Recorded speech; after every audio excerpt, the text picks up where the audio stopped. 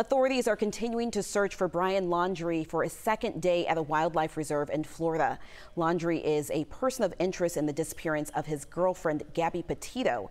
More than 50 police officers, accompanied by FBI agents, drones, canine, and bloodhounds, search for Brian Laundrie. Family members say he was last seen on Tuesday when he left home with hiking gear. Police are searching the Carlton Reserve in Sarasota County. That is a massive park that spans more than 24,000 acres. His girlfriend, Gabby Petito, has been missing for four weeks after going on a cross-country trip with Laundrie. Local and federal agencies are conducting ground surveys at Grand Teton National Park in Wyoming, where Gabby was last seen.